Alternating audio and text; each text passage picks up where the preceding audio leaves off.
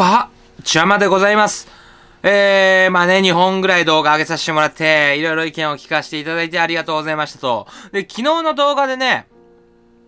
FIFA の実況もやった方がいいのかなまあ、結構ね、あの、コメントが来てたんで、FIFA やってください、FIFA やってくださいってことで。まあね、やっぱりそういう風に声があるのであれば、まあ僕も FIFA 自体は嫌いじゃないんでね、まあウィニングイレブンをメインでやってただけで、あの、動画、なんていうの、プレイはしてたからね。うん、そんなに上手くないけど。実況をね、してほしいという声もあったから、やってみようかな、と思ったんですが、えー、まあなんかそのね、ウィニングイレブンにバイエルンが入らない動向っていう発表があったゲームズコムっていう海外のでっかい、えー、ゲームショーでですね、まあそっちのニュースとあとは FIFA の、まあ、こんなにすごい、えー、なんかこう、モードが入るよとかね、あのー、UT こんな革新的だよという、プロクラブこんなに変わったよっていうね、なんかすごい、すごいニュースと、残念なニュースと、それがビッグすぎて気づいてなかったんだけど、その、ゲームショーのベストスポーツゲームショーみたいなのがあって、ゲゲームショーだベストスポーツゲーム。賞はこっちの賞、あの、賞与の、賞金の賞ね。うん。SHOW じゃなくて、賞金の賞。まあ、あのー、素晴らしい優れたスポーツゲームに贈られる賞に3部門、3部門じゃない、3作品ノミネートされているんですが、そちらが、待って、そちらがですね、はい、ペス2017コナミ。これウイニングイレブンの海外ゲーム、海外で発売されている名前ですね。プロエボリューションサッカーということで、ウイニングイレブンのことです。で、その次が NBA2K17。まあ、バスケットのね、有名なやつ、2K。で、ここがいい、まあ、もともと EA がね、あの、NBA ライブって言ってね、独占してたみたいなとこあるんですけど、2K がね、取っちゃったっていうので、今はもう完全にバスケゲームといえば 2K という感じになってますね。そして最後、救難、なに、救難とかかんとか、指合いソフト、ちょっと読みか、読み方わかんない。日本語から、日本語なのかな？語変換かな？わかんないけど、指合いソフトのが入ってて、FIFA が入ってないんだよね。で、FIFA が入ってないのよ、これ。っていうことはこれ、ゲームの専門家が、選んで、FIFA が、ノミネートもされてないと。まあ、まだ賞は多分これ、発表されてないからベストスポーツ、ナンバーワンスポーツが、ゲーム賞はどれですよっていうのはまだ発表されてないんだろうけど、FIFA はノミネートさえされてないという状況になっております。これはどういうことなんだろう？まあ、俺もね、あの、例年、毎年毎年言ってるんだけど、FIFA は発売前のトレーラーとかめっちゃかっこいいんだよ。めっちゃやりたくなるんだけど、実際、発売されてみると、まあそうでもないというか、やっぱりまあ、慣れてない部分もあるのか、そんなになんか魅力的ではないというか、トレーラーの方が魅力的に見えるっていうのは、あれ、薄々感じてて、で、トレーナーが今作出て、あのね、ふーふーってやつ、めっちゃ面白そうじゃん。めっちゃ面白そうなんだけど、みんながちょっと、ざわざわしてたの、ツイッターの人たちが。でも、俺は、いや、ちょっとトレーナー詐欺あるぞと。トレーナー詐欺あるから、まちょっと待っとけというので、体験版をしてから決めようと思ってたんだけど、このスポーツゲームのさ、プロのレビュアーゲームいろいろ知り尽くした人が、FIFA をノミネートしないっていうのはこれどういうことなの？おもろくなかったってことなの？それとも、もうなんか、なんかしらの、あれの裏のあれがあったのかな？で、一応ね、なんか、えーとね、FIFA はね、どれだっけな？あれどこだっけな？上の方にね、えー、ベストコンシューマーゲーム4プレイステーション4つって、まあ、プレイステーション4の中でナンバーワンを決めるみたいなタイトルに選ばれてるんだけど、これファイナルファンタジー5とかグランツーリスモスポーツとかね。で、その中に FIFA17 入ってるんだけど、まあ、これね、ちょっと、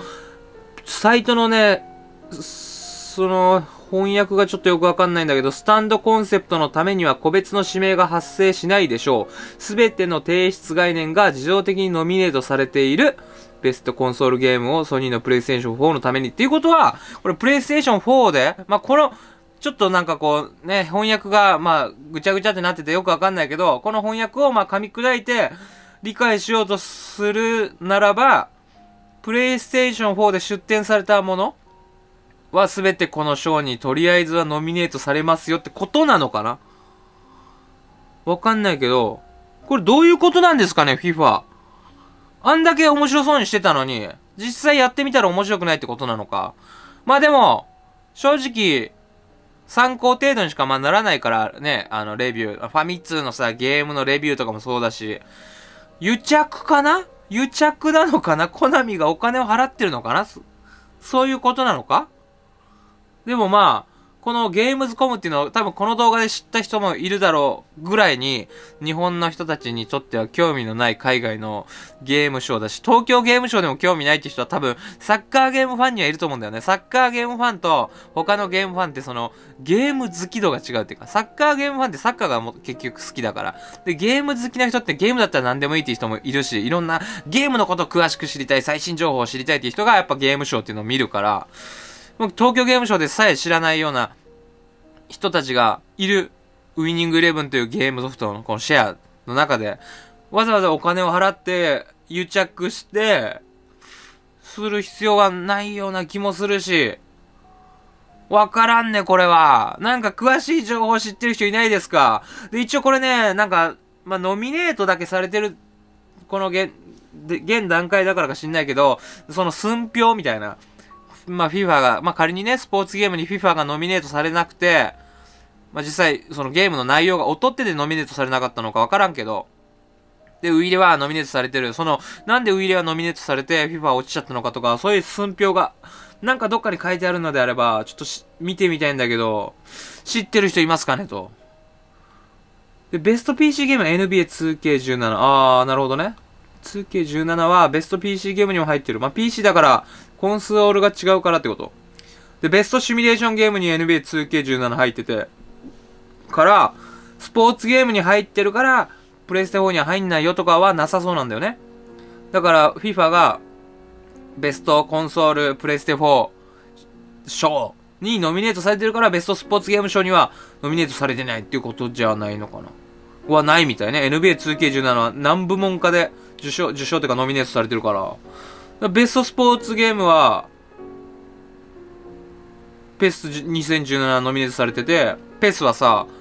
ベストプレステ4部門賞みたいなのノミネートされないと、これ何なんですかねこれ違いは。いよいよこう体験版やってみないとわかんないけど。実際2016の時も、あの、ペスと FIFA だったら、その、ゲーム、こういうショーとかでは、ペースの方が評判良かったみたいなんだよね。そのなんかサクサクできるみたいな、思った通りに動くみたいな。ただなんて言うんだろうな俺がさ、FIFA やってみて思うことは、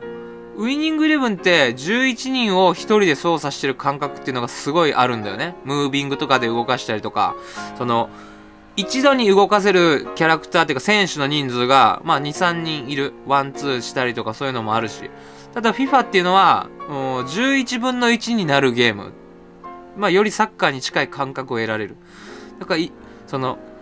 ウイイレは1分の11分母が1で11人。11人を1人が操ってるよ。で、FIFA は11分の1。で、それぞれに、なんかセンターバック、サイドバック、ポジションあって、そこの、まあ、実際、その人や、の、その人に乗り移るっていうかさ、その感覚としては、まあ、サッカーとしてそっちは極めるのは、全然ありだと思うし、どうなんだろうね。それをなんか動かしにくいって感じてるのであれば、俺も最初思ったの。なんかこれ、やりにくいなって思ったんだけど、あ、これ、11分の1だからだって思ったのよ。でもそれ、やりにくいんだけど、実際のサッカーそうじゃん。